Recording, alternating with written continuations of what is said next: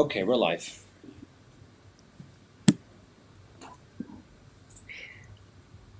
Ladies and gentlemen, hi, uh, my name is Sara Polak, and let me welcome you to the Next Gen event in cooperation with Microsoft and the Aspen Institute Central Europe. Um, we're going to be asking some pretty big questions today, namely, is the era of nation states over? Um, what exactly has COVID done to our social structures? What role does technology have to play in this regard? It's going to be a big, multidisciplinary, very exciting conversation. I'm very excited to be joined by some of the top experts in their fields, ranging from archaeology, architecture, the British Army, artificial intelligence, and cryptocurrencies. Before I go into introducing all these wonderful people and moderating the discussion itself, um, let me please introduce Josef Miller, who's the Deputy Director of Aspen Institute Central Europe, and he'll say a few words to begin us with. Good afternoon, everyone. It is my pleasure uh, to be able to welcome you today on behalf of the Aspen Institute Central Europe at this amazing event, The Future of Forming a Society in the Cloud. The event is organized under the umbrella of the NextGen Network, which is a uh, collective action led by the Aspen Institute international partners and Microsoft. And it brings together young leaders to develop an understanding of how new technologies like artificial intelligence will affect their lives and societies.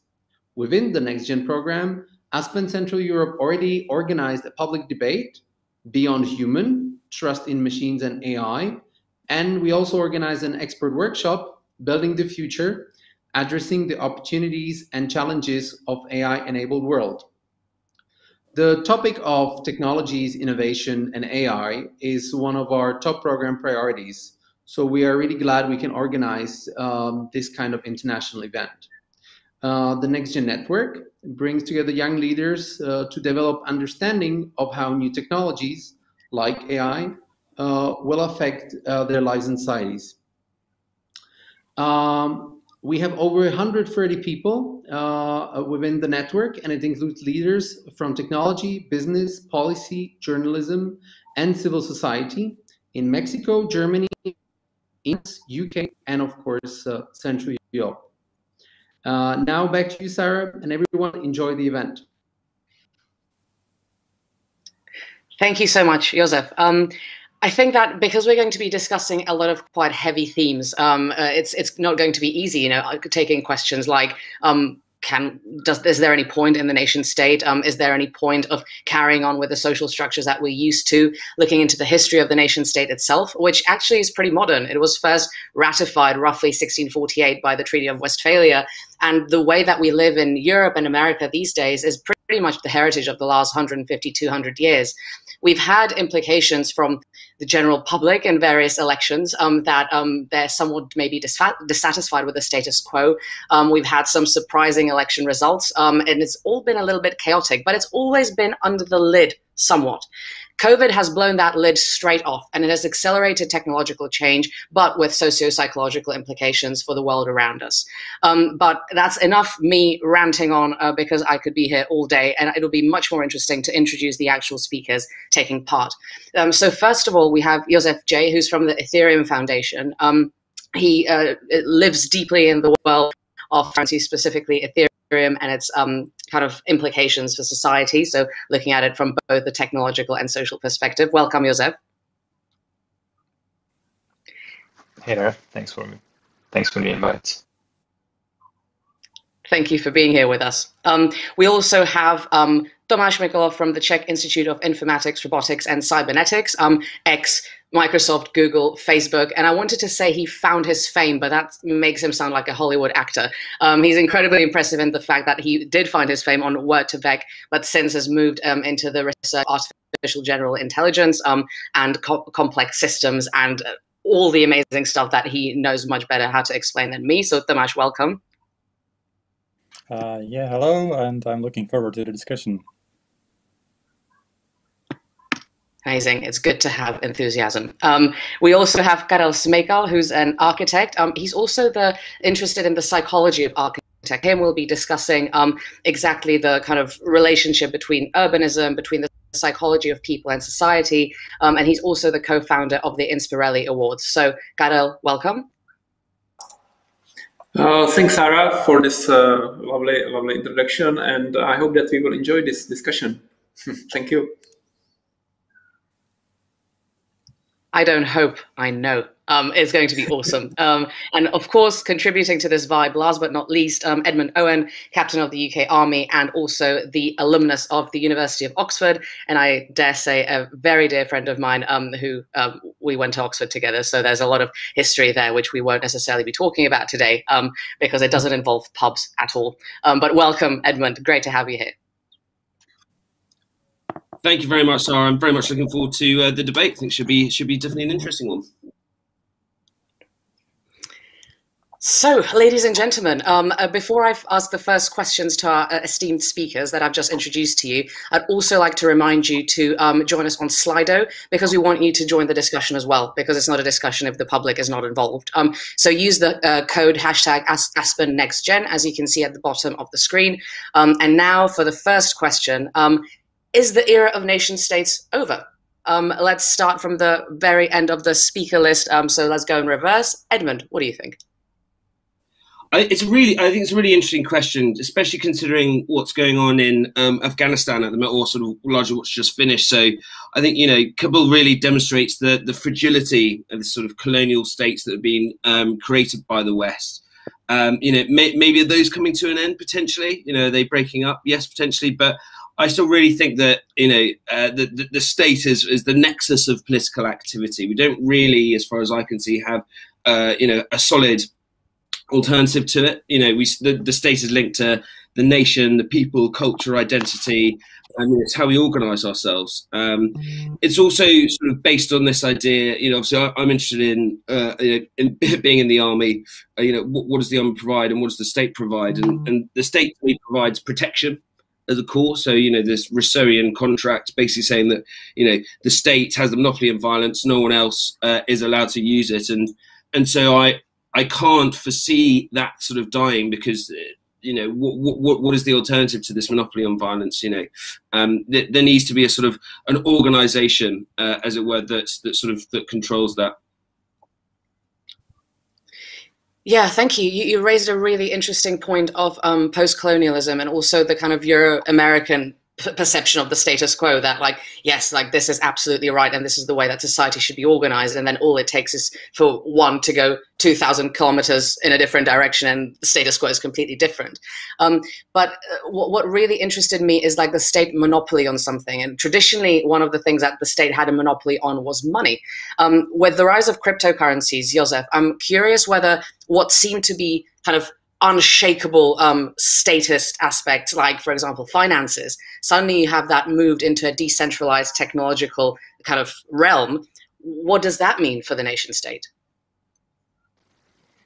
Yeah, I guess like we, we are starting to see it now when like most of the nation states or you know these like larger bodies are trying to kind of like catch up their kind of like regulatory frameworks and and just wrap their minds around like what actually crypto is and it didn't really happen to the extent uh, until like very recent uh, recently like you probably heard of the the infrastructural bill and kind of the implications for for the crypto industry there. Um, yeah i mean uh, for, for me it's like very very interesting to just like witness what's what's going on like how people are reasoning about like these technologies because um, in my opinion like cryptocurrencies are still like pretty early. And like if if there was an actual actual like push on the nation state to like try to regulate cryptocurrencies like in the in the kind of like the global extent right? Because that's that's kind of one of the um, main um, main benefits or like main, main purposes of like cryptocurrency being you know like not located in one place or it's like not one single government that can that can just simply like shut it down. Um, but yeah, I think it will be like interesting to start seeing these attempts to to actually like uh, constrain usage of cryptocurrencies in like the different jurisdictions. And also, uh, the the more interesting part of that will be seeing the reactions and like seeing a like other nation states trying to like um, you know like take the opportunity and uh, kind of like create an environment or just like facilitate these types of services uh, to other nationals as well. Um, but as well to you know like kind of discover what like the crypto community as like one of the examples of like a cloud cloud living society uh, will bring to the table as as like the new um, you know like a cyber defense against like just just one-sided regulation Interesting, thank you. Um, and cyber defense is definitely something that we'll um, get into a little bit later as well, and the different means of protection of uh, not only individuals but also um, communities.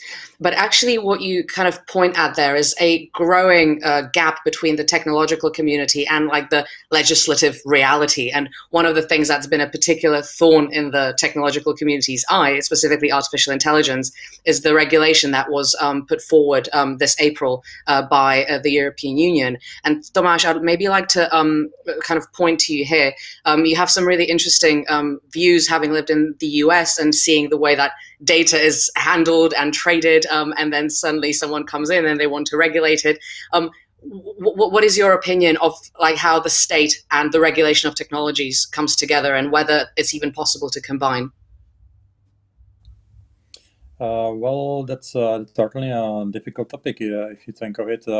Uh, in the recent years, uh, we did see that uh, there are like global companies, global technological companies uh, that are using the technology that we call AI and using it for like making a lot of money out outside um, using large data sets uh, that are coming from uh, from basically like people all around the world. And uh, if you think of it from the global point of view, Europe is actually quite behind areas like the US or China and I think that uh, this can be this can be quite a disadvantage into the future because if you think of it, uh, we are already like uh, as. Europeans we are behind uh, these uh, these other countries and uh, we are trying to regulate even like the use and development of new technologies in Europe. so basically, if you are trying to catch the others while actually creating artificial obstacles for for yourself, I, I don't think this is this is the best thing to do. I think that in the, in, for example, modern uh, impact the society, then I think that the first thing to do would be to actually uh, have our own services to to be on a competitive level with uh, with the US and again like uh, with China and, and uh, regulate uh, um, industry that will not exist in Europe.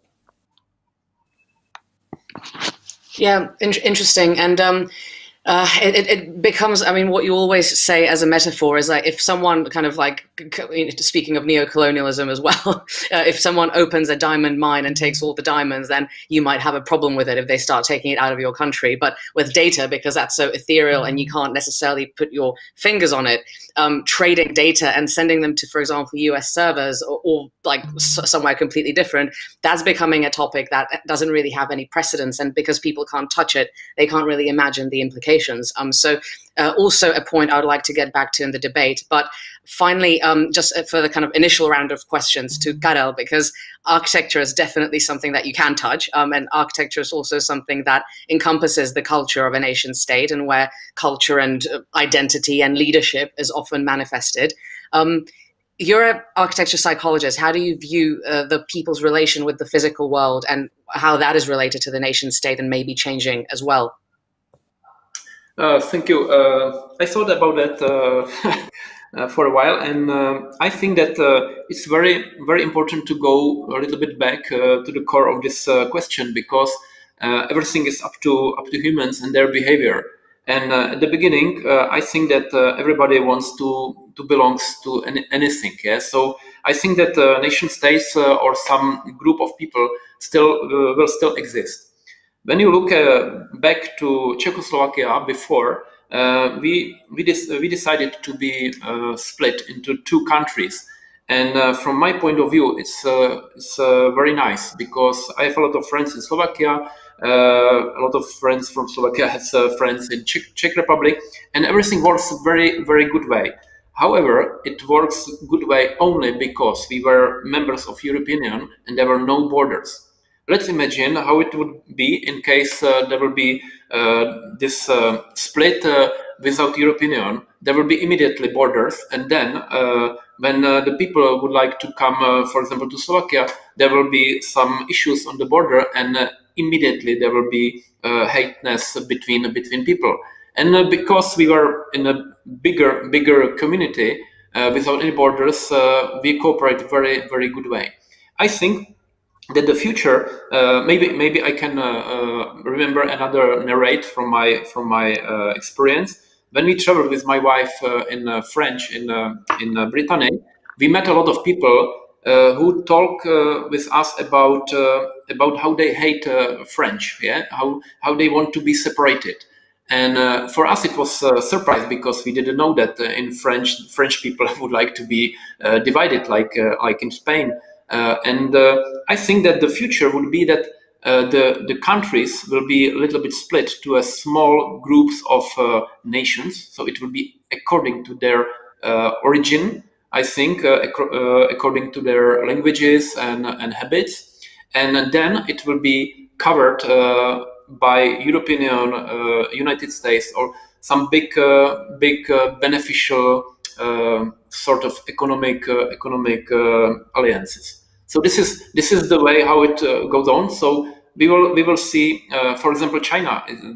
I think that there will be absolutely this this country will be destroyed and uh, i don't know maybe it will it will last uh, one year 10 years 100 years but uh, no doubt it's it's a country of full of another nations and they will not be happy to be together so and then uh, again it will be somehow uh, unified I, I, think this will happen this is my opinion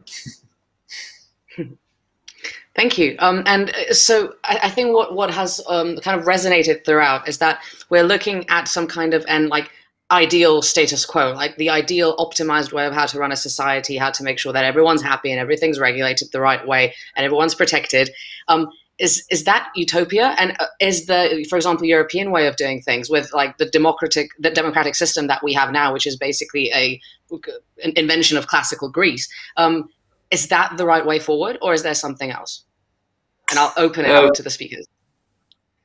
okay so maybe i will take it because i saw that it is my question. Uh, i think that uh, when you look at uh, the wars uh, for example in, in iraq it was it was war between between two countries, yeah, United States and and Iraq. And why does uh, it has happened? And because my from my opinion, because of sources, yeah.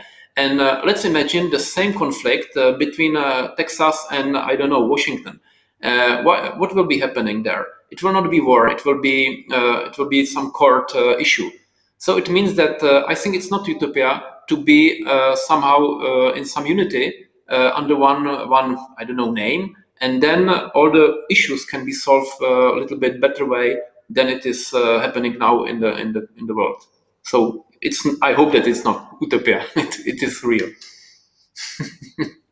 So I think um, I, I, think it's interesting. You know, we, we sort of talk about so Iraq's particularly interesting one. So large, largely that's about resources, right? So you know, oil linking to the petrodollar um, you know, sort of maintaining oil prices, that sort of thing. I mean, like very controversial in my own opinion um, of it, but this sort of harks back to what the nation state is supposed to do, which is effectively to to to, to protect those under it, right? Because there's not really anyone else that is going to protect your your own, you know, sort of you as a group um, or you as an individual. And I think you know this this idea of utopia is an interesting one, but mm, I'm not really sure where it goes in terms of you know like the, societies aren't linear in their progression. They progress in different ways um, you know based off the geography that's around them the environment whatever it is. So you know to sort of to to maybe focus on this concept of a utopia like an end an end goal that is good and all societies sort of you know should be should be going towards that i think is sort of you like you're setting yourself up for failure. I think you know it should be you know we need to look at what what should a good society do. You know, yeah, a good society do, and in my mind, that's you know provide protection, um, you know, security, freedoms, that sort of stuff. You know, so so if a cloud society can do that, fine. But you know, it, but because it's so ethereal, you know, we were talking we were talking about money earlier the, I, I, tried to find an English uh, 10, pound note, but on on English money it says uh, effectively the crown promises promises to pay the bearer of this note X amount of money. So that money is a is is is a promise, but backed up by a government, right? So you know, used to be linked to, to gold, the gold standard, and that sort of thing. You know, this uh, stuff like uh, was it Ethereum or the uh, cryptocurrency stuff? That's not backed up by anything. It's it's it's so completely conceptual Um, that you know people won't want to. I don't think you know invest their sa- life savings into it because it can just go up and down. It can be wiped off. You know, people want control over the money. They want to almost be able to see it, right? Um, and that's what you know uh, um, a, a, real in life society, government, whatever provides. It's it's a sort of a reassurance, I suppose. You mentioned something really interesting. I'm sure that Josef will want to react, but Tomáš, yeah, no, go for it. Yeah. Uh, yeah, sorry, sorry, there's some delay between us, but yeah, I wanted to, to continue on this maybe with uh, with some question because I also like think that uh, uh, a society is like providing some uh, some basics uh, basic services to the members of the society, and one of the most important one is uh, actually the security. And if you think of it, uh, a cloud society is uh, certainly like something that is becoming a reality. You have like like people organizing in all kind of ways. you have say uh, people playing some computer games and they create some virtual societies with millions of members and it's uh, it's all nice and it goes across all the borders and uh, and creates friendships uh, across continents and I think it's uh, it's all cool but once you go to things like society uh, like security how can actually um, like virtual society provides security to its members when it's actually very much related to the physical location because you know like you want to kind of like protect uh, the members of the society uh, from uh, from like some some other members of other society that that maybe want to invade your, your home and steal steal some some things from you. So my uh, like uh, open-ended question, maybe also for the others, and also like because I would like to understand this topic uh, better, would be like how could possibly uh, like uh, like a cloud society provide the same level of services, uh, especially in the area of security, as the nation states.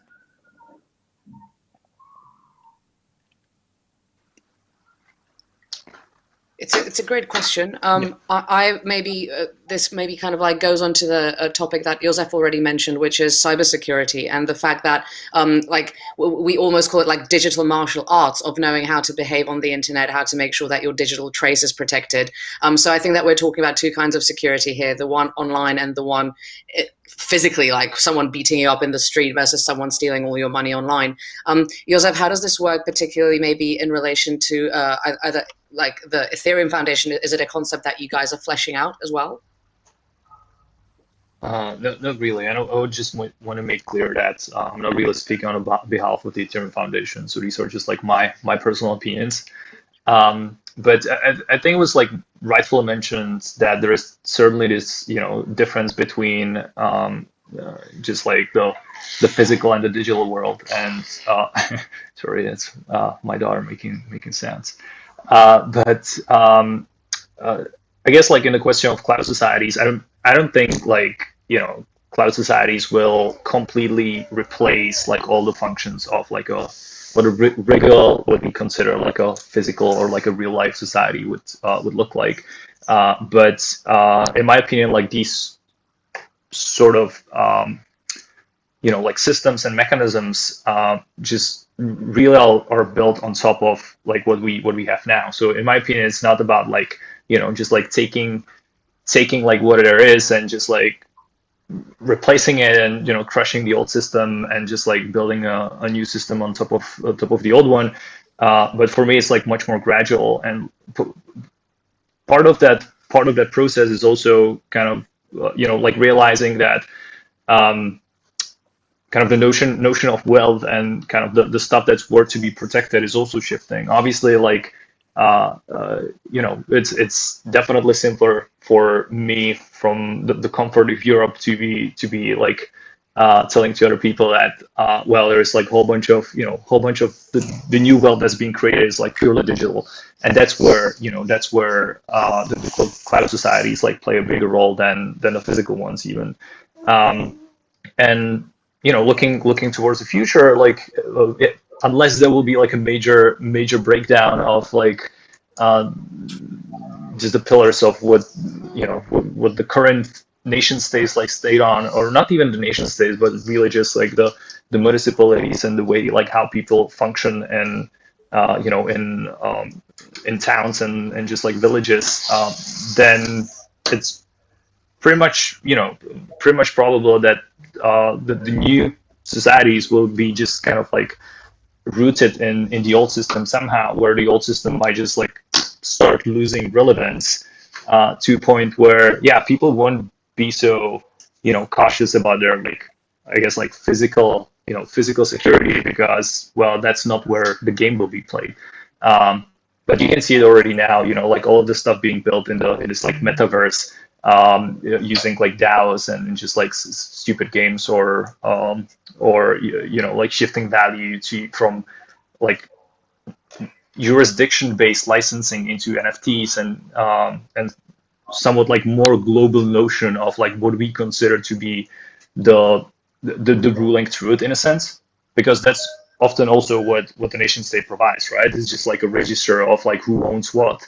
But now there is there is like a global database for it that can be used in you know regardless on, of your like nationality.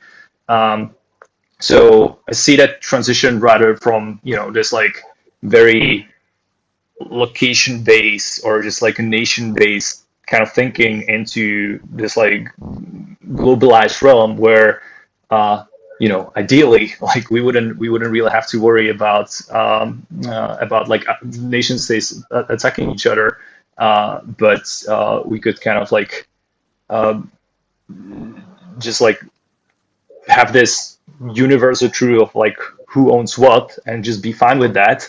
Not having to you know like fight each other because it wouldn't really help us to get to the the, the belongings of like other communities in in the system. Um, but then we could perhaps like focus on uh, you know like other more interesting interesting parts of like uh, you know discovering discovering the space and, and kind of like pushing technologies forward instead of just uh, you know focusing on well one nation state attacking another because that will be irrelevant. Uh, you know if, if we can get to a place where uh, it, it, it won't be just about like the strongest player you know setting the rules of like uh, uh, you know ownership of like property and land and like whoever has the biggest guns because then it, it won't be just like up to the one player in the system. It, it literally will be about like the entire world like collaborating. And up till this point i don't think we actually had the means to you know achieve that large scale um, coordination. But like with things like blockchain and for me like things like ethereum or even daos i, I think like the you know uh, the tools are you know coming to its existence to their existence so hopefully uh, we'll be able to solve like larger coordination issues through more like decentralized notion of, of governance rather than just you know having a discussion about who has who has more guns okay what, a can, can I say? thought I'm gonna, we're going to be out of a job. so, sorry? I'm, I'm going to be out of a job if that happens. You um, you won't need a job. Um, you you'll be you'll be just no, farming. yeah, exactly. Skipping around the uh, the fields. So what, one one thing I would ask though, um, you know, if we're going to have this sort of free society, one, one of the things that I sort of at its source, right? What happens if they switch the internet off? You know, like so, it's not it's not free. It can't ever be free because someone controls the uh, you know Marx Marxian you know controlling the means of labor or whatever it's called. Um, you know, so someone controls the flipping internet, and once that's turned off, um, you know that society is literally like physically is nowhere. I don't know. Yeah, but, like, uh, yeah, like not like North Korea, right? But well, yeah, that part of society physically is nowhere. Uh, but it's also like super inefficient for like any nation state to just like cut them off from the internet because they would be just like losing so much money that is just like not feasible, or at least I I think so. But then if you look maybe, at what, what China their control over society, you know, there's no Facebook, the huge firewalls, and that sort of thing. Actually, you know, if I was a if I was a dictatorship, I would I would absolutely want this cloud society thing to happen because it's far easier to control uh, a cloud society, all I need is better better technicians uh, than than than you know your, your normal everyday man, and I'll be able to very easily control people. And that doesn't sound pretty. That doesn't sound particularly utopian to me. I mean, I can barely turn my laptop on, let alone uh, you know engage in a cloud society. Uh, what if what if um, uh, the virtual uh, reality is still a part of reality? I have uh, I have experience with uh, with our project uh, Inspireli Awards. It's uh, the biggest uh, world biggest students architecture competition, and uh, we are in touch with more than 142 countries. And I would like to answer to Thomas Tomas about the society um, how to say protection or or how they can help. before when I when I traveled and I was back in my home and I I talked with neighbors they they didn't care about um, about what is happening in uh, in I don't know Azerbaijan, what is happening in in Iran, Iraq, because it was far away. And for me, it was absolutely different because uh, I was in touch with uh, those people, and uh, whenever anything happened to them, I, I was trying to contact them and offer help. And uh, it was at the beginning, of course, uh, our virtual connection, but then when things had happened, I felt the responsibility, and I think that the responsibility is the answer on the question of um, the future behavior of the of the people. And uh, I think that doesn't matter if uh, there will be internet connection and or it will be close, uh, like in, in COVID, uh, something uh, is changed, and and then uh, you find a way how to connect people different different way. Because, for example, right now we, we know each other's for I don't know ten minutes, and I feel that that I know you a little bit, and uh, let's let's imagine that after I don't know one year, uh, any of you will, will contact me that uh, you need something, and and uh, you will you will know what I'm doing, and uh, I will I will help you because I know you from virtual um, virtual world. However, still it is the reality. So I, I don't think that you are created by computer. I, I feel that you are normal humans, and I think this is this is um, it will ever be here. Everything is a reality doesn't matter how we call it, uh, which uh, uh, devices we are using. And maybe last, last, last to add, what about globalization? I heard a, a, lot about globalization, but whenever I need anything in uh, in country, for example, in Nepal or in Cameroon, I need to know people there. Uh, it's it's uh, by Facebook I will do nothing. I need to call them. I need to talk with them. So I think that society is still the same like it was uh, hundreds years ago. Still, we would like to meet. Still, we would like to love somebody. We would like to take care about somebody. So this will be the same, I think.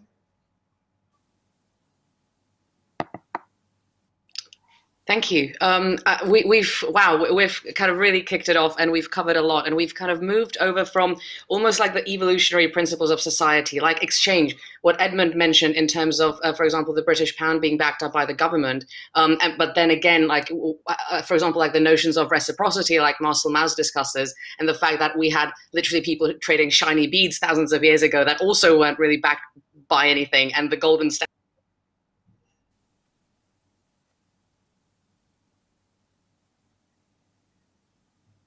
I'll um I'll, I'll, I'll jump in there to finish off what uh, what what Sara was saying. So you talk about Marcel Mauss, who um, really looked at reciprocity. So um, it's called the, the Kula Ring. So basically, a series of islands um, in Indonesia, I think. Um, and uh, what he looked at sort of the first time, he realised that actually most human relationships are based off reciprocity. So you know, I'll give you, uh, you know sort of a, um, a necklace of uh, you know particularly beautiful. Um, like seashells, um, and therefore there's a relationship that you have uh, then you built, you know, and that goes around and around and around. And so I think, sorry, sorry, are you are you back on now? I just I, I tried to jump in there. no, okay, um, yeah. So so so that's sort of the basis of how. Uh, well, he argues, you know, we, we we create these relationships, and you know, sort of with the same sort of thing applies with less less so with money. And i think you know maybe thomas i'd, I'd like to hear your opinion on this. Um, you know maybe with with a sort of bit bitcoin as well it's even it's even less sort of personalized because you know I, again i don't really know how it started but bitcoin is sort of it's it's dark webby it's it's really anonymous it's you know it's not linked to to the individual so you can't have that reciprocal relationship with people. Uh yeah, I don't know. Like, I would probably not be commenting so much on, on the Bitcoin because I'm a, I'm not an expert on the in the on the cryptocurrencies. Maybe just continuing on that uh, uh, evolutionary principles that actually Sara mentioned in the societies. I think that's uh, uh what I've been actually thinking of uh, in the last uh, two minutes about like that it maybe also like worth thinking about because well, there's actually no goal like for for our societies. We can have our ideals that we think uh, are like worthy to pursue. Like uh, we have some um, some opinion about like uh, how a good civilization civilization should look like. what are what are the bad ones? but this is not like some uniform truth, and you have like different uh, cultures in different parts of the world that have actually different uh, values. Uh, and it's actually like the evolution that decides what survives. Basically, it's a simple mechanism, like the societies that that are kind of like stronger in some sense are the ones that that succeed. It's it's not a societies where actually everybody's happy and where people share some nice values yeah. and uh, and so on and uh, you know this worldwide peace it all sounds good but uh, if you look into the history I think there was this saying that uh, if you if you want peace, you should prepare for a war, and I think uh, it's uh, it's the same with uh, with these uh, idealistic uh, opinions about like the future societies where all the world will unite and everybody will be happy. Well, I think that uh, there's also this eruption that uh, if we just depend on the virtual world uh, too much because it's kind of embedded in the physical world, world which also like Vaslode mentioned that there can be some like enemy society that will for example, cut off uh, the internet connection for some country and it will go into a chaos because uh, all, all these things uh, that are being uh, done like on internet will be now impossible. You will not even be able to pay for anything uh, if you will destroy the databases of all these financial transactions. Uh, it's actually even true for art. You don't really need need cryptocurrencies even in the, our, our, current society. If you would be able to attack like the bank records, then it would create tons of chaos and it would be very easy to conquer countries uh, where actually destroy their economy first and where everything is basically not uh, not working at all. So I think that uh, that's the other issue that we didn't really discuss here. I think that we were going a bit too idealistic, but following all the security concerns, there's there's this issue that if a significant part of of our lives um, transfers to the virtual world, uh, which is actually also like a, uh, like uh, sensitive to some type of attacks, then maybe that will actually create a weaker society, and uh, maybe uh, that will actually lead to some parts of the world to be conquered by other countries, which will actually be not so virtual, and um, basically replace the, the given system there uh, with uh, with something else. So just trying to look uh, at, at things from the other side so that we we don't end up with some utopia like discussions too quickly and certainly a good point. I, am interested to follow so follow up on on the previous previous note of like uh, you know cutting cutting off like other countries' internet or just like finding the weaker spot, and that's you maybe like answer the the question. And Sara was actually asking me, uh, uh, like I, I feel that decentralization of the internet system is like a crucial part for like cryptocurrencies or like these societies to work in general. Uh, because yeah, like if you if you like build that system on like very big basis where you basically just create like a single point of failure in the very beginning and then you say like and for now and everything is decentralized well yeah then you just like introduced uh, uh, introduce a bottleneck in the system. Uh, so that's perhaps like one uh, one approach that EF is certainly taking, which is uh, kind of like decentralization on like many many different layers, even from perspective of like uh, how these well a how the network looks looks like as you know just a, a physical um, like manifestation like actually being like decentralized in terms of like locations and number of nodes uh, which is certainly not something that like EF can do by itself but it really depends like on the people you know like in general in any any like blockchain blockchain related topic is is on the people running the nodes, like either having like strong incentive to run a node or just being altruistic and like providing that as a as a service. But there are many different layers of that, like you know decentralization of like the client base, like uh, the you know the actual software that that runs network also has to be decentralized in a sense. You don't want to rely on a single team, on a single development team.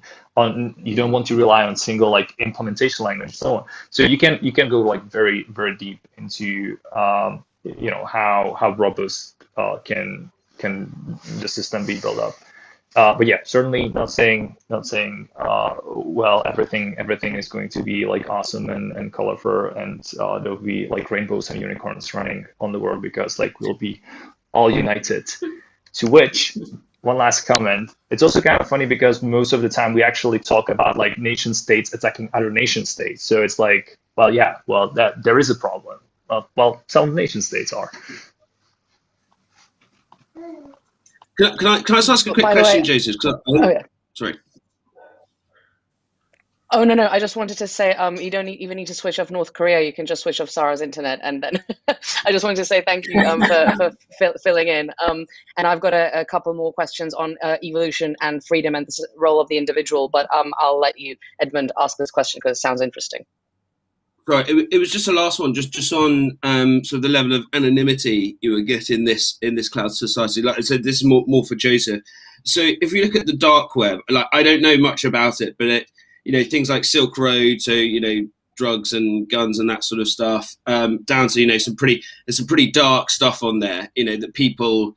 I mean, I think we all know what, I, what I'm what I'm talking about. You know, so people don't want to be found; they they want to be anonymous.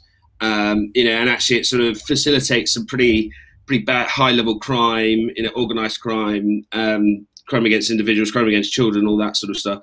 So in this cloud society, how do we maintain a balance between you know this this anonymity, but then also sort of allow for this connection? Um, you know, and, and how is that how is that effectively policed if people have things like tools and all that sort of that, all that sort of thing? Well, to, to that, like I, I, think like people already have these tools like now already. Like you know, it's it's the same argument of like, well, you have that tool, you can use it for like various stuff, and I don't I don't think that's actually like a solvable issue through like technology itself. Like I think that's a solvable issue through education and just like you know like building up social standards that are strong enough. Uh, but yeah, you can make the same argument about like cars or telephones. You know, uh, well, yeah, organized crime is often organized through telephones. Well, maybe we should you know ban them. But I so think this is actually. Sorry, go on, Sara. Um, no, it's just an interesting point because basically it's one of the things that we discuss a lot in um, Parallel Polis, which is the idea of uh, cypherpunk and the the um, right to anonymity um, and protecting you yourself as an individual, because that's one of the ways that you can protect yourself online. Ciphering stuff has been something that's been happening for thousands of years and has been a means of protection. But funnily enough, um, and uh, Edmund, you, you, know this as well as I do in terms of archaeology. Archaeology doesn't normally focus on the individual, and it's, unless it's some rich princess with a lot of gold that looks good in the British Museum, um, you don't study things like homelessness and pe- people that are hidden under like the layers and individuals who are escaping the system because there's simply no archaeological trace. It's going to be much easier to do that in the digital world, but I think that history has censored out these people. And so we only tend to focus on analyzing the big structures and the big nations and the big organizations. And actually, the individual is escaping. And I wanted to ask that Elvis actually, you're a psychologist of architecture. Obviously, architecture is linked with institutions and nations and cultures. How is the individual represented in architecture and maybe the use of public space, but also private space? It'd be really interesting to have your opinion on that as well. okay, so I, I will try to to to find the uh, correct answer. Uh, I think that uh, I can I can maybe use uh, example of my of my own house. Uh, uh, what I'm trying, I'm trying to to create the house which will be absolutely um, satisfying all my demands. This is this is the individuality into process of architecture.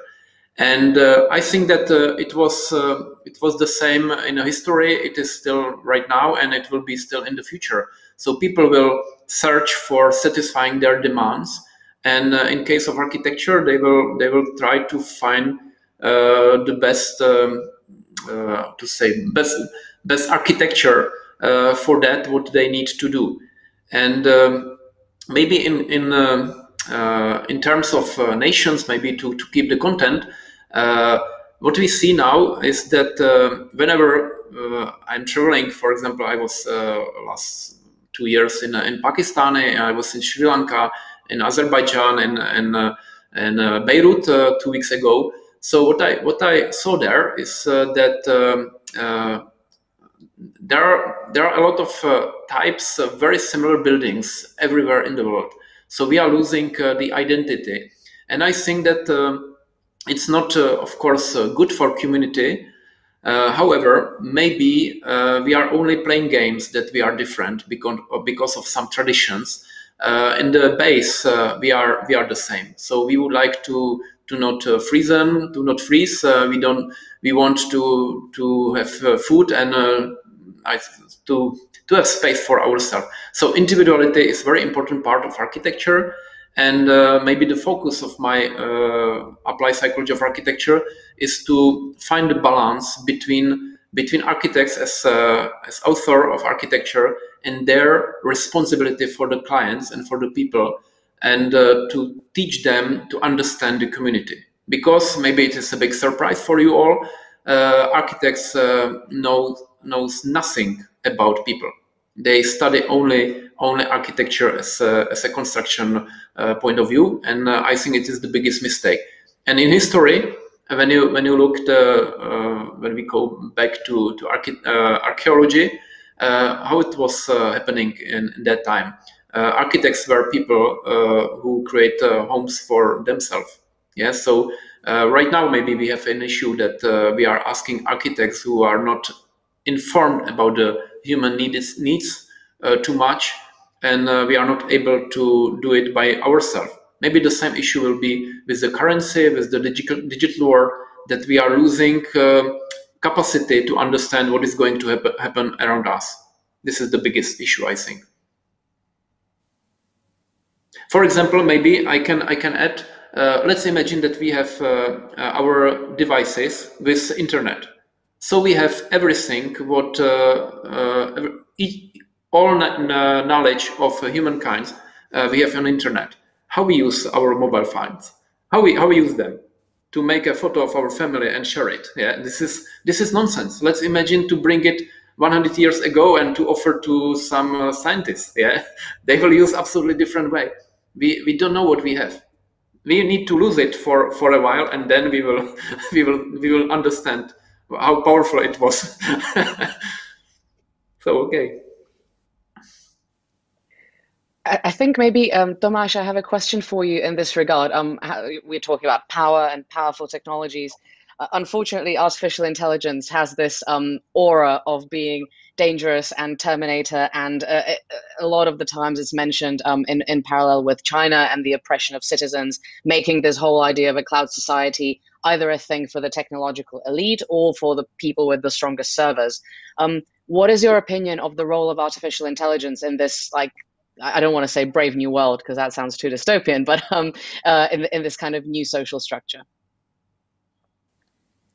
Well, I think that uh, that's even like a broader question about like the role of the technology itself, because you can see artificial intelligence as uh, uh basically the mm, uh, the artificial intelligence of today. Um, things that uh, do exist are basically applied math. it's computer science algorithms it's basically like uh, just part of technology. So you can say that AI is kind of like uh, the thing as, uh, as programming or internet, uh, something on this level. So certainly it's uh, it's very useful, but I would not overblow uh, its importance, and especially when it comes to some science fiction stories that try to claim that we are getting close to some sort of like a singularity when people will, when computers will become self-aware and start thinking on their own and and just uh, take over over like the power on the world and uh, erase all the humanity. Uh, that's that's science fiction. Like uh, we don't have anything of this sort.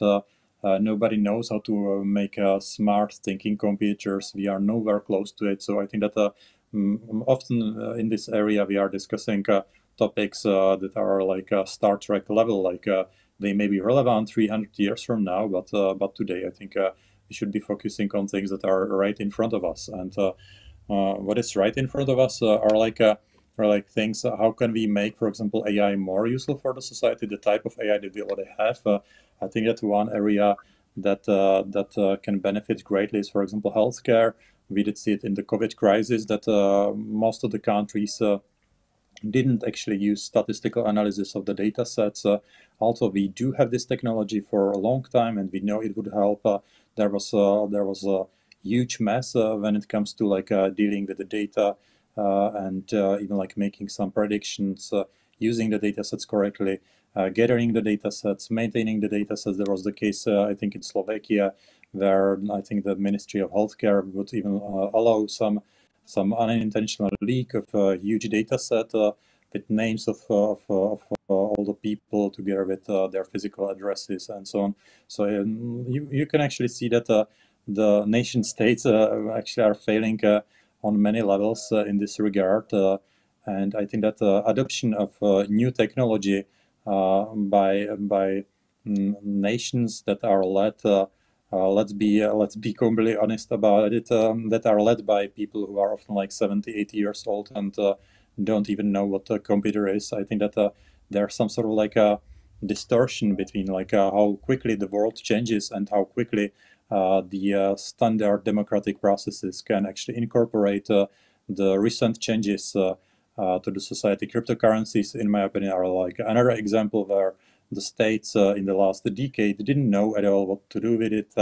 there are some attempts in some countries to to start some regula regulations but uh, in my opinion, most of the politicians are completely hopeless when it comes to technological questions because they don't have the education. And uh, often, like if you look at uh, the presidents of the, of the US, uh, uh, they are just simply uh, too old to to understand these type of things. so I think that that's that's one part of things that I would like to discuss. Also, I would like to also like uh, maybe continue a bit on the on the previous discussion about like the globalization maybe I would uh, just have slightly different view because I think that the globalization is actually pretty good uh, for the societies locally because uh, if you are a society that uh, developed uh, technology or some some some other principles uh, that are kind of like outdated, they are not state of the art.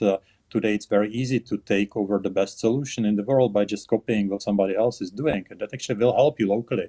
So, if, for example, you are building some inefficient buildings, uh, but some uh, some neighbor, for example, is, is making it uh, much cheaper and better, then you can just copy it from him, and uh, that will lead to this globalization. Your architecture will uh, start looking the same. You will lose the diversity, but locally, people actually gain quite a bit out of it. So I think that locally, globalization is good, but but uh, actually globally the globalization in my opinion is not good because uh, if you lose the diversity you also like explore you you remove the exploration part uh, so um, you know, like uh, sometimes some solutions uh, don't work very well for some time until some some continuation is developed. and I, I, for example, see it a lot in the research community. The research communities in say machine learning AI that that explode in size in the last maybe one or two decades. Uh, and the number of participants at, at, these conferences like much much higher like at least one order of magnitude but uh, if you look at uh, the number of like breakthrough discoveries i wouldn't really say that uh, it's uh, it's going anywhere faster because uh, you basically see thousands and thousands of people researching the same ideas and doing basically the same experiments and i think that that's the danger of globalization that because we will lose diversity we will actually uh, invent less things uh, because we will explore explore less paths. So I think that we have a couple of things emerging here. Um, without a doubt, we I think all agree that some form of revolution of the nation state ending and mm. immediately being replaced by some kind of cloud utopia that that's nonsense. Simultaneously, we do see the kind of um, uh, the scissors kind of opening up between the nation state's reality and like like the, the, the dream that it was maybe a hundred years ago, and that dream that is failing is being replaced by certain cloud services that are just working much better and that people are using more efficiently. But then what does that mean? Does that mean everyone should use the nation state in the same way? And if we're not, what implications does that have for voting and for taxes? Like if, if I'm uh, only using the nation state for a specifically small thing and I'm using like the rest on cloud services, or I have my, I don't know, maybe medical insurance and even another country and my mobile operator in a second country, and I opened up my company in a third country. Um, what what does that mean for me as an individual? Why should I be paying, for example, the same amount of taxes as someone who uses the state in a completely different way? I'm not looking for a definitive answer. I'm just throwing that into the lion's den um, that I think that again the individual variability of the way that we move and exist in a society is not really being accounted for. I think uh, if I can, uh, uh, I think that uh, everybody, uh, let's say, as a joke, everybody hates cops, yeah, and when you have an issue and you call them and they come uh, very very quickly, then you love them. Yeah, and I think uh, the same with uh, when you are uh, when you have problem and you need to go to to hospital. Uh, you you are really happy that uh, it works. So I think that to to stay in paying taxes is very important, and you you hate it when you when you need nothing from the state from the government but uh, when you need it uh, then then it's really good. I think it's up to up to appropriate way how to explain it to people and how to weigh the balance between uh, paying uh, taxes uh, for for for corruption uh, corruption government and politician or to pay it smartly Uh, and maybe it can help uh, some uh, AI or or another internet solution which will make a way how to pay only what you exactly want or uh, sometimes I, I thought that it would be nice to pay taxes and to see exactly how it was used. For example, to, to understand that, uh, I don't know, one, two percentage was uh, for hospitality, was 700, seven percentage for, for, I don't know, mothers uh, uh, with one baby. I don't know. Uh, maybe it can be the way how to use our technology. Because when, when Thomas was presenting his opinion, I, I thought uh, uh, that uh, it, it is the same in our brain. Yeah, our brain we use in I don't know maybe maybe four percentage only of our brain we, we use or maybe ten percent maximum, and the same is with the technology. When you look at our technology nowadays, how how big percentage of this technology we, we use uh, in our life i think that uh, let's imagine to use it in 100% uh, we will not uh, need to go to work. I think we will have all information very very quickly, and uh, the the the world can be in as, as a utopia. However, we are not able to use our technology. We are using only a small part of it, as was said by Thomas. But, but is, is, yeah, isn't this this, this is part of the? Sorry. Yeah, sorry. Is, isn't this part of the deal of isn't this part of the deal of society though which is which is basically like you know if you want to be a member of society you have to pay taxes you have to give back you know so if you make more money you pay more tax and it's um what's the word like sort of leveled up. So the more the more money you make the more you make the tax and that sort of stuff. And and you know hey it's just one of those things. You have to pay you know to have a good a good society um, you know you have to contribute and you you you can't be a freeloader. You know you you don't necessarily have uh, you know, the the Rousseauian contract is is that you say okay cool to get this you know protection from the police to get healthcare to get whatever uh, you know there, there there is a very very clear cost to that and actually some people are going to have to pay more than other people um, you know, because hey, you know, for me, for example, I've, I've been very lucky in um, where, where I was born, um, you know, sort of family I was born into, that sort of thing, and therefore I'm very happy to pay. Um, well, not happy to pay taxes, obviously, but uh, you know, I, I, do, I, do, pay them uh, with a relative level of contentment because I get that other people don't, you know, necessarily have the same opportunities that I do. Um, I mean, I think it, would be really cool. To, so I, I gave blood uh, ten weeks ago, something like that. Um, and exactly as you say, um, Karel, I got to see, um, you know, wh where the blood was sent to and all that stuff. Great. I mean, the trying to organise that though would be would be a hell of a thing. Really cool if we could see where our taxes go. But you know, imagine some some poor bloke at a computer with an enormous Excel spreadsheet trying to work that one out. It'd be horrific. Yeah. I, I think but, that, but that's the thing. Pretty um, uh, interesting oh. if, uh, sorry, yeah, if, if it would be possible actually to to uh, connect uh, the taxes and the technology, because many of the of the ways how the society currently works, it's uh, it's because of the historical reasons. Because uh, it would be impossible 50 years ago to just go and ask people about how do they want to spend the taxes for this and that. I think uh, it, it, was impossible. If you wanted to influence how the taxes are spent, uh, you would just uh, vote for, for the party that uh, that has the most similar opinions to, to yours, and that was the best thing uh, doable given the current state of the technology back uh, in the days. But today, I think it is different. Like uh, we can actually have a better version of a democracy by actually allowing people to uh, to also like have opinions about like more details. Like of course it doesn't have to be everyone.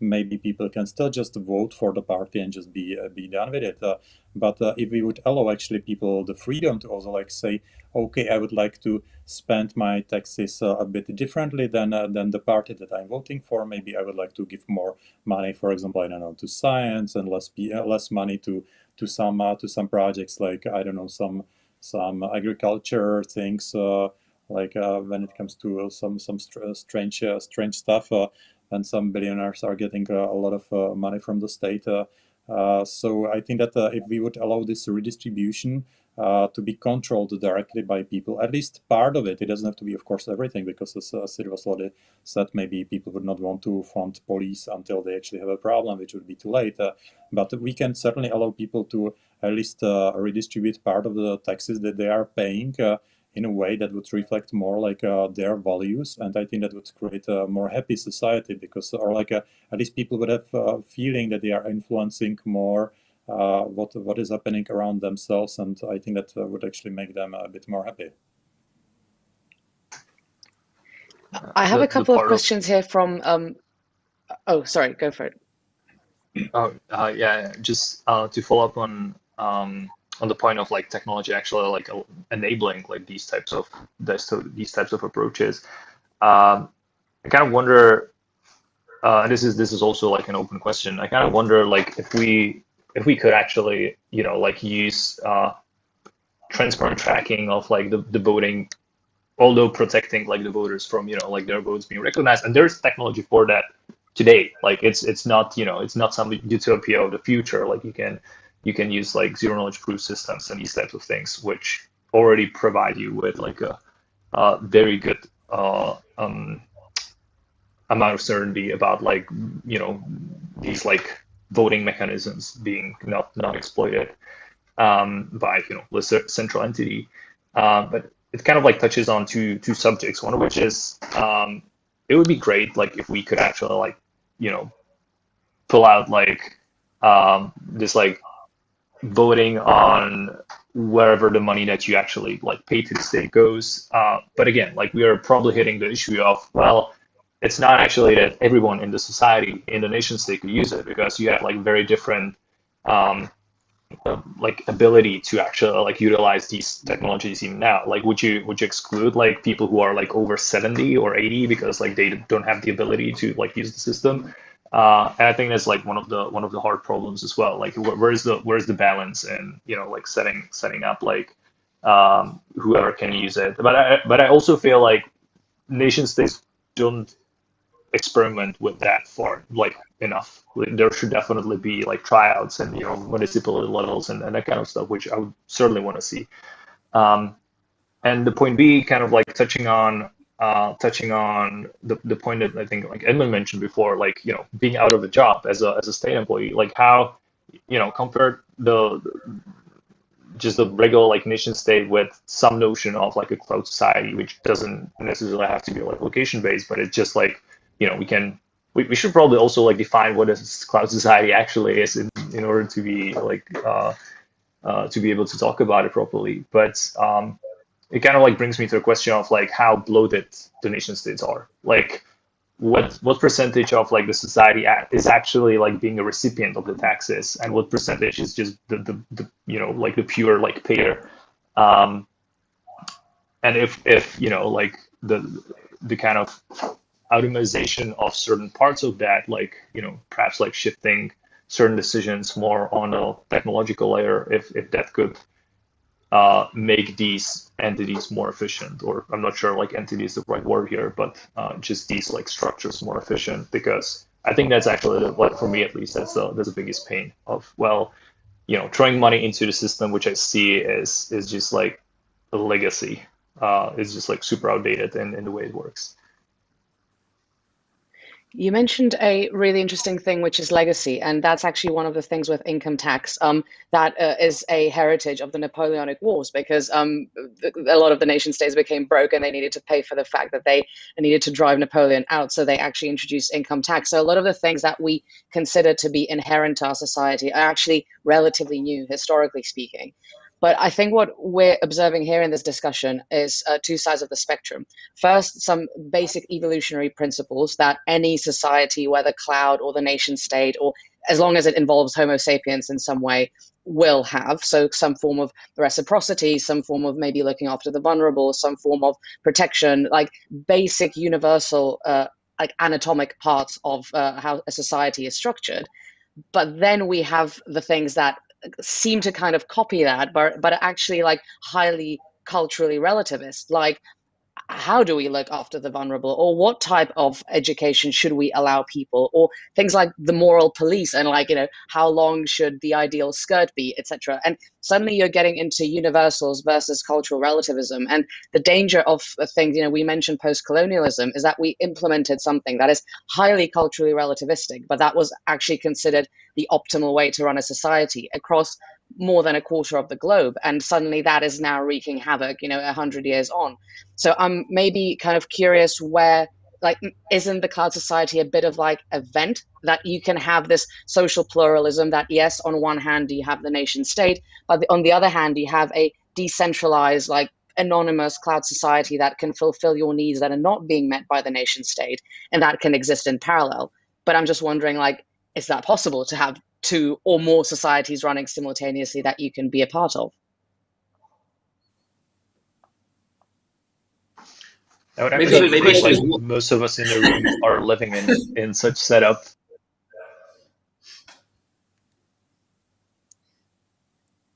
I will wait.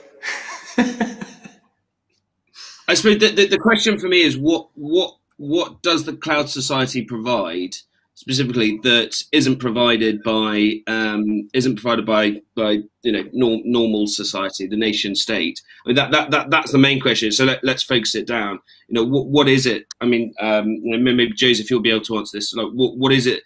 What more does the cloud society provide?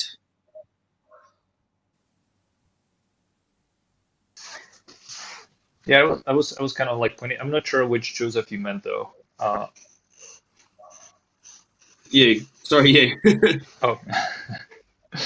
uh, yeah, I mean that, was the point about like defining defining the cloud cloud society. But um, I, I don't, you know, I don't know what it means to like other people. Uh, but uh, I would I would actually say like I, kind of like live in these like two parallel realms, right? Like I have de- definitely have like uh, you know my uh, my nation state identity, but uh, I also happen to live in this like uh, Ethereum metaverse with these like various people that uh, can actually already like provide a lot of the services that the traditional world like well could also, but in in some cases I'll certainly be like excluded from those like. Um, and you know, coming back to like the monetary purpose of like cryptocurrencies, well, that already is a is a huge chunk actually. Like you can you can already replace uh, the you know the, the means of exchange like the the state-based money with cryptocurrency. And you can also get um, a handful of services that like traditional banks would provide like getting a loan getting like a collateralized loan without uh, being questioned without like kyc without like uh, uh, you, you know like any constraint uh, anyone like checking your like national id card or anything like that and that for me is is already you know um, um, this kind of like spark and well and you can have like much more. You can have like insurance uh, that you know is completely like based on like outside of the traditional like jurisdiction. You can have like models where uh, dispute resolution is handled like um, in a very decentralized way. It's not about like who knows the judge or like who can pay the be- better lawyer but you can you can like reach uh, to you know this like power of the crowds to to actually like decide uh, uh, disputes. Um, yeah, it's just like throwing examples of like what's already out there. Um, but th- this is th- these are currently the things that are like useful for me. But I'm, I'm certainly hopeful that there will be like more of these services, um, you know, available. Or you know, pe- people allowing like uh, even like such such basic things as uh, and, and that's where we maybe like hit the the level of well it's not really compliant with you know like how nation states work and like it shouldn't be happening within a nation state. So it may be seem uh, uh, illegal in, in some ways but you know like providing uh, providing accommodation like through using using like these crypto services and it's like parallel society where you know like the the exchange with a decent level of um, security for like both parties involved in in the transaction of like being the accommodation provider and the person paying uh, can happen with some sort of like dispute resolution mechanism, which uh, would otherwise the state provide, right? Like the jurisdiction where you could go to court or like charge someone or like call the police and so on. Uh, you can you can replace like a whole bunch of these services with like notions of um, your like reputation, which is not based on your like nation identity. It's not based on like the, the ID that you that you were given when, when you were born, not on the name. It, it's just like a, an address. Well, that you know can belong to anyone, but it happens to belong to you, and you can build your parallel like uh, reputation on, on that. Um, and yeah, then then it comes to the question. Well, well, maybe providing like accommodation to someone without actually knowing their identity wouldn't be really legal, and like how do you pay taxes and so on. But well, for me, kind of you know coming from from like more of a like anarchist background, uh, why you know like why would I care? Like if I if I get into into the the setup of well, all right, I'm I'm fine. I, I consent of like not having police to like back me up in this transaction. I rely on like this other service where I can charge that person more and it can be like uh, reimbursed for like any damage that that person can uh, can make. Uh, and I'm willing to accommodate someone without uh, without like uh, you know checking their identity card uh, which like even if you use Airbnb, you just like have to like sign these like little pieces of paper. Nobody checks on that. I mean, that's that's also kind of funny, but um, um, yeah, I mean, you know, why why should why why should the state like know about these things? Like, why should the state care unless I'm asking in return like some some service like you know being protected by police and so on. I, I, I get your point of like, well, yeah, if something horrible horrible happened, well, probably I would like go to the police and like ask them for something. But at this point, very likely because I still pay taxes. Uh, but uh, there, I think there there's definitely a spectrum of like services that are kind of emerging that where you can already kind of live in this parallel system, the parallel system, and like establishment of you know having some safety nets uh, around like the stuff that you do. Maybe it's really interesting. Maybe, sorry. Sorry, go on. Can I?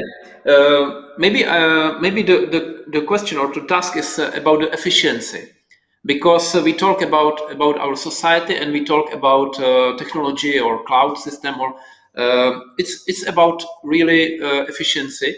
Because when you when you look at our society and compare it with anonymity, then with anonymity comes very soon irresponsibility and uh, irresponsibility is something what uh, what uh, is not not benefit for anybody. So the same is with the with the uh, cryptocurrency. Uh, it's very good. Uh, I like it because I can pay I can pay to or send money to to my friends and not pay taxes to banks. however, I need to to be aware that uh, the mafia and for drugs and for for uh, weapons, uh, it's it's is the best uh, solution. So uh, where is the responsibility? And step by step, you will figure out that uh, without without identity, we cannot work. Yeah, because I will I will never invite to my house anybody who I know who I have no chance to check who will come because maybe it will be dangerous for my family, it will be dangerous for me or for my house. So it's not possible. I think that uh, personally, uh, our behavior is still the same thousands of years, and uh, the technology can be used only what what we are searching for is or look for is for efficiency of our country, nation, nation states and uh, how to in, incorporate it uh, the new technology. This is the way, but uh, anonymity is is not the solution. It will be anarchy, and and anarchy, I don't want to to to lie because, for example, in my family, we had uh, uh, it's it's a really little bit uh, out of this topic. However, it is what is going to happen in society. Uh, one of my friend, he was a drunker, so he he he was still still with alcohol. And what has happened? still, people attacked him and it's something what uh, you know you, you don't know me, me too I don't know anybody. Uh, uh, I was never attacked uh, in a society. When I was in metro, when I was outside traveling, nobody attacked me. But my friend, because he was drunk still, every time he, he lost everything. He, he lost uh, his packing. He lost his clothes. He was naked. Yeah, when when when he fall down uh, on the street. So it is it is happening here, and it is hidden in front of our eyes because we we, we it's not correspond with our point of view on society but it's going to happen and anonymity uh, allowed this uh, this behavior this is i'm afraid about it and i think that step by step you see that now we have internet identity internet uh, or digital sign because uh, without it it never will work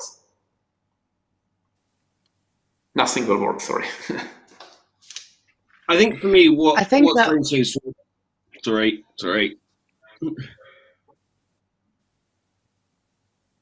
Um, I was just going to say quickly what what what for me sort of, sort of Josef sort of said quite well.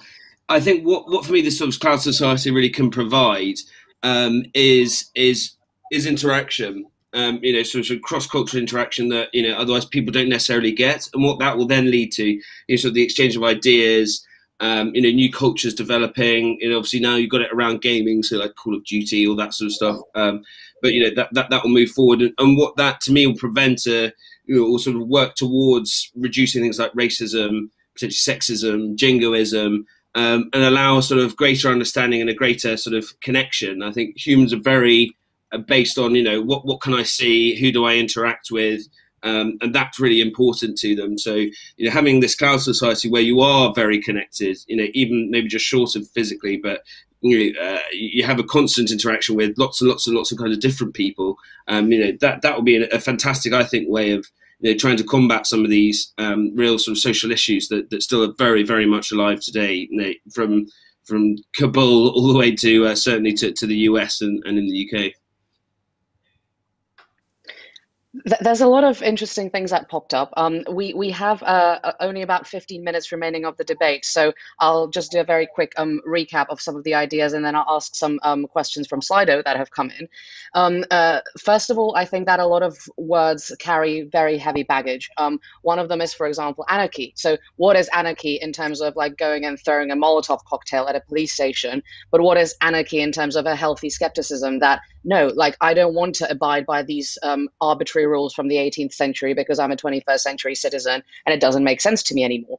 Um, anonymity in terms of I want to um, uh, live in secret on the dark web because I want to trade drugs or child pornography versus no, I don't want to share my location with Google because I, I might not feel safe doing that or it's my personal choice. So I think that what we really need to understand is that a lot of the words are very loaded um, and loaded words lead to a lot of misunderstanding, even some even the fact that we cannot have some debates because they seem to be so loaded with emotion um, and even maybe political beliefs. Um, so I think the first step to a cloud society or even this social pluralism that we're discussing is to just like take a step back um, and like with a calm head see what we're actually assessing and understand the basic principles um, so that's the first thing and the second thing is that what i think that we see emerging from this debate is that um, a nation state is almost like a um it sometimes puts itself into a position of like an unhealthily possessive like girlfriend or boyfriend like that forbids you to go to the pub at all occasions um but you're going to probably like sneak out and find a way to go to the pub anyway um what i'm trying to say is that yes, there are, of course, some things that I will go to the nation state for. Like Josef mentioned, like if someone murders someone in the street, like my first reaction is to call the police. But at the same time, if I work in artificial intelligence and I know that the state organs that are dabbling in the uh, regulation of it don't know what the hell they're talking about. I don't want them meddling in my work and maybe stopping my research and um, stopping from key services being provided because. Uh, technological evolution will be very artificially frozen just because someone feels that they need to regulate something that actually they shouldn't be regulating at all um, in the way that they are. So again, I think uh, a healthy skepticism is right, um, and make having the freedom to make actual choices and not being pushed into a choice because that's the way that things that should be, and that's the way that the right good society works. I think that's really important to have a healthy skepticism of the status quo. And on that front, um, we have a couple of um, uh, queries emerging from Slido, and I thank you for uh, whoever sent those in. Um, first of all, isn't the virtual slash cloud society more vulnerable than the real and physical one? Or rather, do the benefits of a cloud society outweigh the vulnerabilities and risks?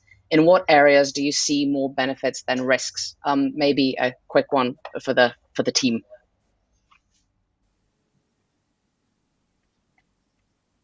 Well, maybe I can start. Uh, well, I think that uh, mm, actually following on what you you just said, uh, mm, it would be uh, maybe good if uh, the state, the physical state, and uh, like what we are calling today the nation states, if they would be just doing the bare minimum of what is needed and not things that could be, for example, handled better by the by the cloud societies or some other types of like societies which people can uh, join on this uh, voluntary basis. Uh, so I think that would be actually what what I would be happy with if um, if um, the politicians would be just just dealing with things like security and like trying to make things um, efficient, um, the few ones that are actually required to be done by the physical state. Uh, but when it comes to uh, things on top of it, I don't know, like education, healthcare, plenty of other topics, uh, uh, where I think uh, actually uh, some parallel societies or governments can emerge and maybe they don't need to be like just located in a single country, but they can be like say over the whole Europe or maybe a couple of countries. Uh, there, there's no need to have some physical boundaries if you think about like contributing part of your taxes to, for example, educational system or sci- science uh, research uh, uh, or even healthcare, I think that uh, the physical boundaries uh, mm, don't really seem to be that important there. And I totally see that there's a different quality of these services that can be provided. And currently we are kind of like forced by by uh, by our country to contribute uh, money to one single system where we don't really have a choice to uh, escape it or maybe vote for something better and we can just hope that after a couple of decades, for example, the healthcare system will evolve to start using statistics uh, mm, and start using data sets uh, where it could have been done much sooner if there would be more competition. Uh, that's the other thing that the state often organizes uh, mm, uh, mm, like uh, like work in areas where actually a monopolistic system is not the best solution.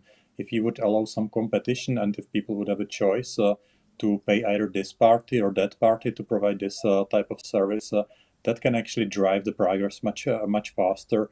Then again, like as I'm already mentioning healthcare quite a bit, that's an example where if you don't have a choice, there will be no change. you will be paying a lot of money in the taxes, but the whole field will stagnate and the technology will be outdated by 10, 15, 20 years in many cases compared to what would be otherwise doable. Mm-hmm.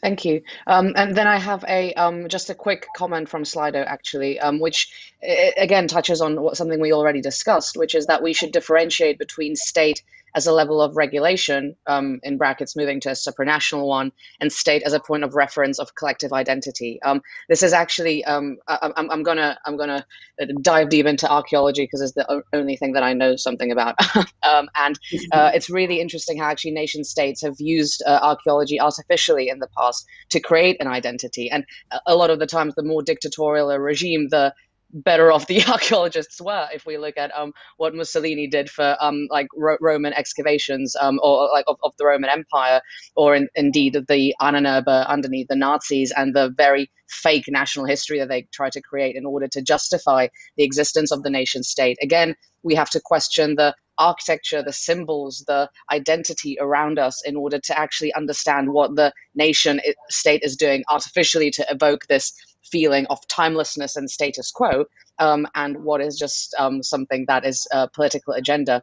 Um, maybe actually one quick question for Karel here. Um, uh, to what extent um, is the uh, is the identity of the state reflected in architecture, or what is your personal experience with that? Uh, uh, maybe maybe can you repeat the question because I don't I don't know if I if I understood well. Uh, what if you ask uh, for the future or what is now? Um, probably what is now. Um, so uh, basically, the comment from Slido is that um, the nation state is often a reference of cultural identity of people, um, and a lot of the times that's reflected in architecture. So my question is just like your opinion on that like to what extent yeah. um, national identity is reflected in architecture now okay uh, so when uh, in case uh, in case we talk about the national identity identity uh, for me personally it's it's not because uh, we are european identity uh, when you see our our architecture style in a, in a history we are sharing them with with our neighbors so there is nothing like really Czech Czech design. And of course, it was 100 years ago, but it was only a few examples. So I think that we have maybe continental continental um, identity, and it, the reflection is according to I think nature. Yeah, because uh, we have we have a different different temperature than uh, than in South Europe or in Africa. That's why uh, it it was shaping our architecture more than than our identity because uh, uh, okay we can we can uh, as human beings we reflected our designs by by the by the different periods of life however still everything corresponds on our position on the globe so i think that from my my point of view uh, my personal identity is now European. Uh, I'm very proud of that, uh, and I am uh, feeling myself uh, less and less uh, as a Czech. Czech from Czech Republic for me, European is much more important, and I'm I'm proud of that. So I and I see that in architecture it is it is obviously the same situation. Thank you. Sorry, can I come um, in? And I've got Yes, you can, Edmund. And let's um, uh, maybe the last contribution from from each of you, if you just want to have your parting thoughts, because this has been a hell of a discussion. So um, maybe like closing remarks, um, and then we'll round this panel off, and we'll move into the workshops on Zoom afterwards. Thank you so much. So yeah, I mean, so just to very quickly to answer that one, and I think sort of one of the main sort of cause of this is that there there are two things. You've got the state, and then you've got nations as well. So nations much more sort of linked to people's ethnicity, identity, that sort of state being more of a sort of a way that we organize ourselves. I think in all of this, uh, what we've been talking about here, and, and what sort of needs to be made clear is that we have these primordial ideas of you know our own identity. So I am Ed, I'm a British Army officer, I'm English, whatever. Uh, you know, I'm um, the, the, the, these primordial uh, ideas of sort of bounded societies, we need to get away from that. We need to move beyond that because actually we are incredibly interconnected. Um, you know, with the low level sort of globalization, trade, that sort of stuff, all the way through to the flow of ideas through media, language. Um, there aren't clear boundaries, and I think for me, you know, this this this cloud society is going to be a really really interesting way, sort of the next almost logical jump in that actually you know it's it's it's sort of it's completely unbounded this society. You know Peter, someone in Kuala Lumpur can be talking directly with someone in you know Ireland or, or, or whatever it is. You can have these communities that aren't at all based on um, certainly based on, on either the nation or the state um, so you know getting away from these yeah getting away from these primordial ideas of boundedness um, you know Mary Midgley talks about um, we see cultures as uh, like billiard balls on a table. It's actually not. It's more like a, a massive ball of string that's all interconnected. So um, maybe the cloud society is something that uh, you know is is is the next step in that. Thank you so much, Edmund. Um, and Josef, how about yourself? Any closing remarks?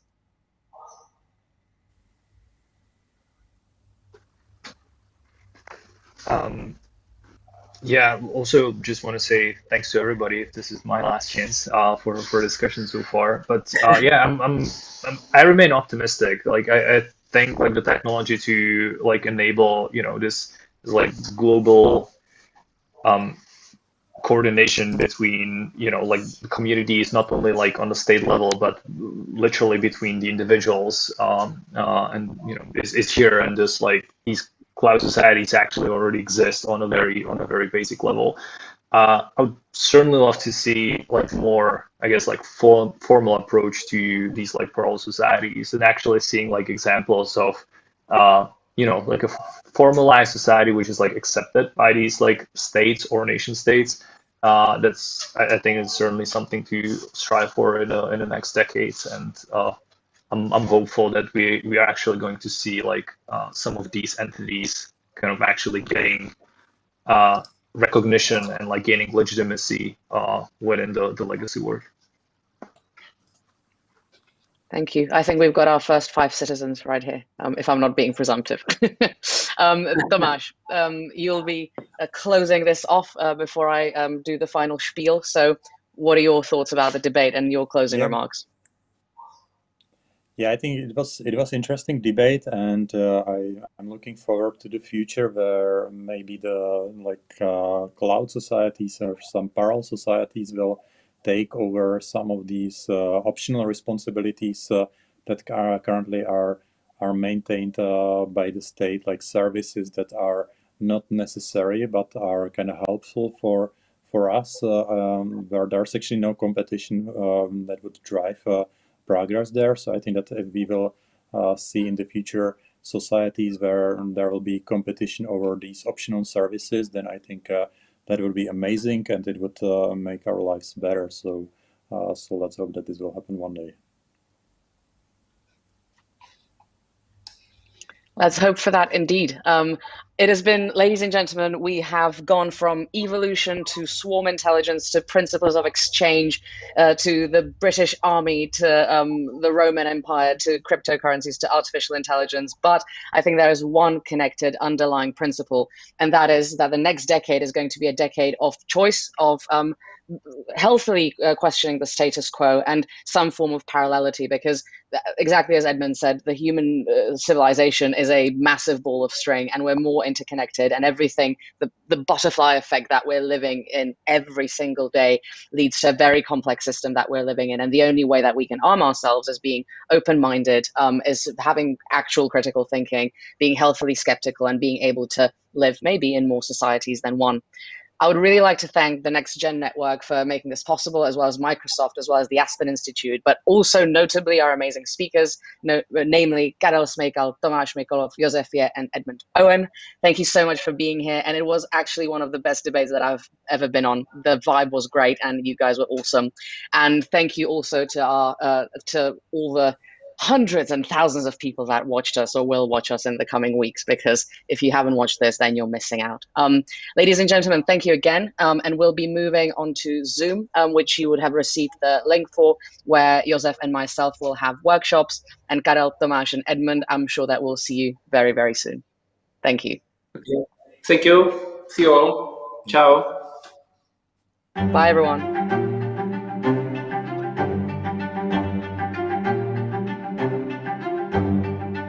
Institute Central Europe is an open and interdisciplinary dialogue platform where political, business, and nonprofit leaders, as well as leading personalities from art, sports, and science meet and interact. We organize public conferences, seminars, and expert discussions on the most pressing issues with the goal of having an impact beyond the conference room. Our programs aim to improve the quality of decision-making processes. Every year, we gather at the flagship event called The Shape of Central Europe, a conference where expert groups present their year-round work and offer a comprehensive look at the development of the region and further recommendations. We also organize both public and policy debates on European and transatlantic matters technology and digitalization, artificial intelligence, education, reskilling and upskilling, and many others. Thanks to our leadership programs, more than 300 exceptional leaders across various professional fields from Central Europe have already been challenged to explore their core values and got engaged in dialogue about issues critical for society's development.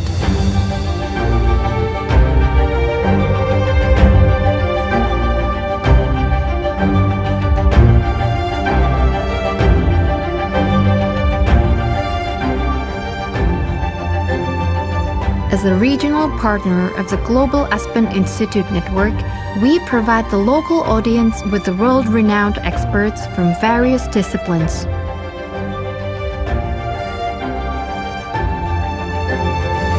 The Aspen Institute Central Europe is an independent platform where people from business, culture, politics, public institutions and sport meet and discuss. If you are one of them, get inspired, be part of Aspen or follow Aspen.